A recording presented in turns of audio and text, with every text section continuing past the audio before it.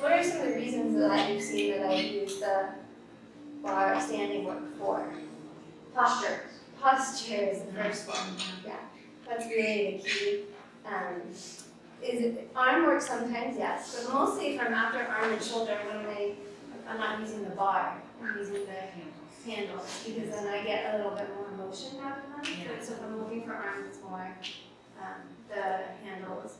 So if we're gonna talk about posture in motion, let's just see what Jamie does, if we just take it and fold down. There are a couple ways that I can look at your posture, right, and what I'm trying to get out of it. So, do you remember my other name for this exercise that I tell all my clients?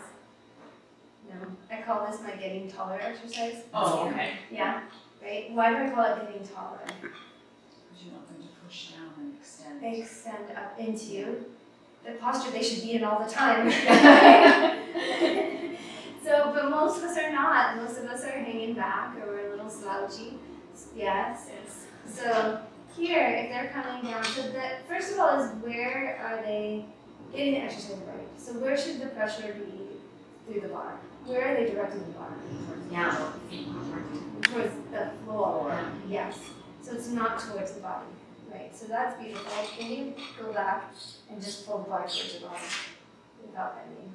It's still towards your body. Right. Oh. Different. Nothing's happening. Yeah, shoulders, and nothing's happening. Right. Nothing's happening that I want, not for posture anyway. Right. So go ahead and pull it back down and grow as tall as you can while you go. So that's just pretty good, right?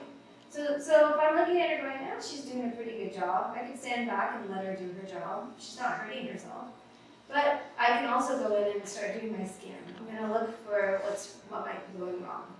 So first of all, we know that the bar direction might not be quite right. So say, okay, I really want you to feel the bar going down towards the floor, and I really want you to lift. So if I want to lift, I can just give her this little light fingers on the back of the head, and she grows just a tiny bit more for me with that. So that's that's all I'm feeling what she's doing, but I'm also just kind of encouraging what I know I want her to do. Right? So then I also want to come and scan down what is something that we don't like to see in posture that we may be seeing here. Oh, parallel feet. We want a little parallel. That's the dancer. Okay. yeah, Is the weight in the balls of her feet? good question. Is the weight in the balls of your feet.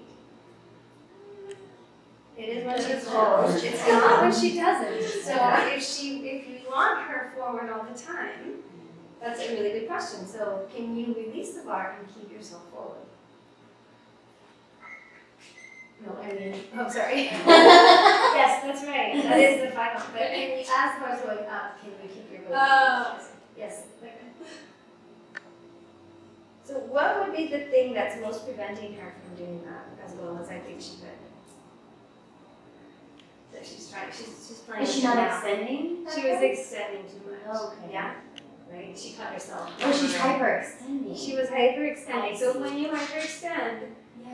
what happens? Your heel stay down. Your heels stay down, and so, and we know Well, that Genevieve has some stuff in her back, right? So we do not want there, that's beautiful. Now she That was can, really nice. now she can release the bar and stay where we want her. But then I can tell her to let go and walk away, right? So, but the other places I would check, I would keep scanning up. So feet look good now, knees look good now. Right, and then if I want, I can, I think she can get a little bit taller through her low area. So can you, as you pull down, really even go through here all the way up to that. So let the shoulders come behind you a little bit. Courtney's getting a little tired there. Yeah. So one more time. That's it. See forward. And that feeling of almost having your hips come up and stop, coming off the ground while you're pulling the right arm in right. Because you're pulling against resistance. So if you're forward already and you pull against resistance, right, then I'm gonna be lightening those heels. But then when I let go, I should be where I need to be. So I've been having people do that in Pilates media a lot lately because it helps them from swaying too much. It mm-hmm. gets them to engage their inner thighs and mm. glutes more than they would in parallel. Right. A lot of people have trouble with that. So that's an excellent point. Why would we change that position? The- What, what was Kim saying? If we're gonna give one word to what Kim just said, what is that word? Modification. No, I know, I mean, yes, but, um, one word that describes what she's actually after. There's one word that would describe it. Glutes. No, Stabilization. stable, stability. Yes. Stability. So if you're after stability and you're not seeing it there, you can tell them to bring the heels together and create a little more stability for them. So that was the whole idea behind is that turnout position actually does give you a little more stability. That's also the, the purpose behind touching the knees and feet together when we do things, or the ball there creates a little more stability and creates a little bit more muscle activation. It's, it's a light muscle contraction, so I really don't think it's a great idea to put the heels together and tell them to squeeze your glutes. That's not that's not really stability anymore. That's work, but it's not your postural work. It's not functional. Thank you. That's, So you can walk away from that. you're not going to walk away from that point. But if your goal is to create stability in the body, using different positions to get there is a good goal. If my goal is to get Genevieve to walk out of here in the posture I put her in, I don't want to turn her out. I want to keep her here. So it goes back to sort of what is my goal and how am I going to get there. Now, granted, maybe I want Genevieve to walk out parallel with looking straight, but when I put her here, she's all over the place and I'm not getting anything close to what I want. That's too hard for her. So, so I either need to work that on, put work on the reformer for that length and stability, or I can change the exercise to create more stability first, with the intent being to go back to what I want as a functional behavior. Does that make sense? So how, uh, I don't know if I explained it well, but how would I pick that? Do you understand how you would pick out, if you didn't see anything really wrong, how are you gonna pick out what might be not going as well as we want it to go with her body on that? We saw a few things, we didn't really see much at first, but then we asked her some questions, right? And then we did our scan. And my scan, especially in standing, usually starts at the bottom because they have to get to the floor somehow, so uh, I usually I have an easier time finding it if I look from down to up. And maybe her feet and knees were perfect, but then I would have seen something up here, or I, I would get there, right?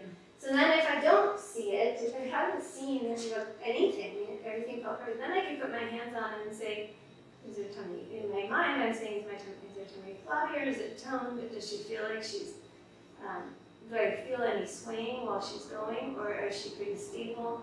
Uh, what is happening at the shoulders? Can I get, am I, can I get that? You know, is she really rounded and that's why she's that way, or is there just not any stability work happening up here? So I could feel that if I couldn't see it. And then the cueing is again really light. So nice. That is so nice. I day, right? I feel like is just a tiny little, tiny little cue. I'm not lifting her. I'm just. I don't know. You should tell them what it felt like. It just. Yeah, it's it's like a and just just a gentle reminder. Just a gentle lift, and that because she's also dancer and takes her out right. So some people, yeah, exactly, exactly. So Oh, was pulling. I think we talked about this. Yeah, we did this today, We did. just like you're doing now. Yeah. She was for a long time. So some of the hardship we were talking about comes from people doing stuff on their own at home on their own equipment, and they come up with their own funky patterns with them and watching them, and they really don't understand it as well. So she for a long time was pulling that bar towards her. And. Look, I'm so strong. I can pull. I'm like, that's not the exercise. That's not what I want you doing. So we had to go back and reteach it to her.